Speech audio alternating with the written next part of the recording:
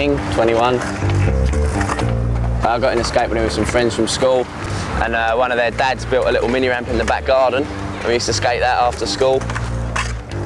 They all stopped skating, and me and a couple of friends around the local area carried on, started travelling around a bit, and just stuck with it. I remember the first things I learned was dropping in on a mini ramp. I remember doing that for the first time in my friend's garden, coming a cropper, just learning to push around, learning to ollie, just the basics, just learning to be comfortable on it.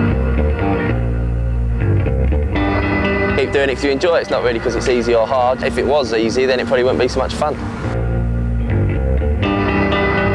Sometimes I prefer skating vert ramps. If I start to want to skate something else, I might just skate mini ramps for a bit or a little bit of street now and again. And just skating, really, I think it's all the same. If you like skating one thing, you'd like skating another. The only thing I'd say that annoys me about skating is it seems like you're constantly injured. As soon as one thing goes, you get another one. But that's for everyone who skates pretty much. You can't avoid it. It's part of it.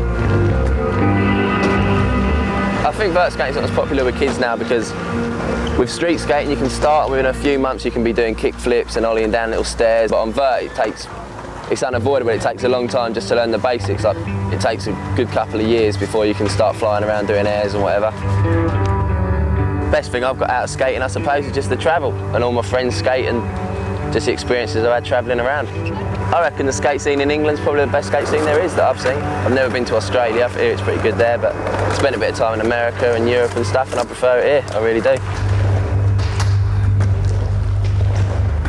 If I didn't skate, I'd probably be into something else. I don't reckon I'd just be nine to five in and spending my money down the pub. I don't know, I reckon I'd be into something else. I'd like to think, but I don't know what.